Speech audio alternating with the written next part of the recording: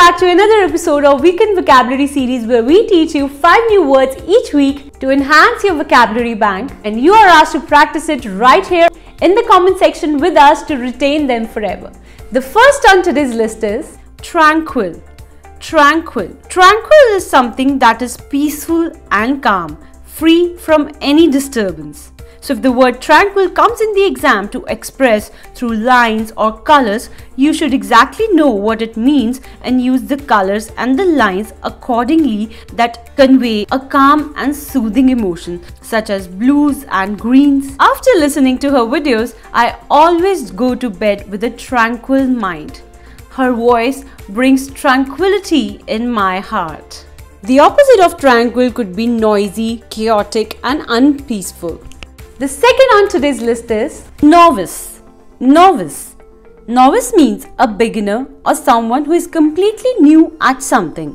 For example, I was a complete novice to the design field, but your detailed lectures made me a pro at it.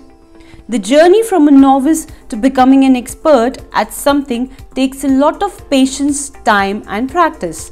Opposite of novice could be expert, professional, pro, or a veteran. The third word for today is altruist. Altruist. Altruist is a person who cares about others without any selfish purpose.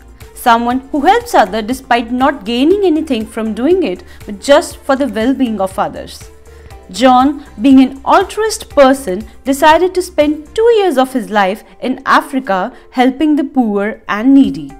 Every successful person shall engage in altruistic activities and help the needy and homeless. The opposite of altruist could be mean and selfish. The fourth on today's list is plight. Plight often refers to a distressed situation or a circumstance or an unfortunate condition. For example, after losing their homes in a hurricane, poor children's plight was miserable. Most wealthy people are unaware of the plight of hungry and homeless. The opposite of plight could be fortunate and joyous. The fifth word for today is quell. Quell. Quell means to reduce or to suppress. Extra police were called to quell the disturbance. She often watched a lot of motivational videos to quell her anxiety. The opposite of quell would be to raise, to foster, or stir. I hope you have enjoyed this session and you already have learned these words but trust me you are going to forget it if you are not going to start practicing right here right now in the comment section make a paragraph using all these five words and I am going to reply to all the comments I'm going to get.